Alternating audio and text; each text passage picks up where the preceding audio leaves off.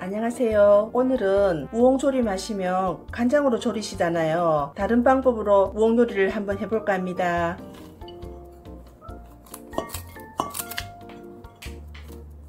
감자 전분으로 버무리겠습니다.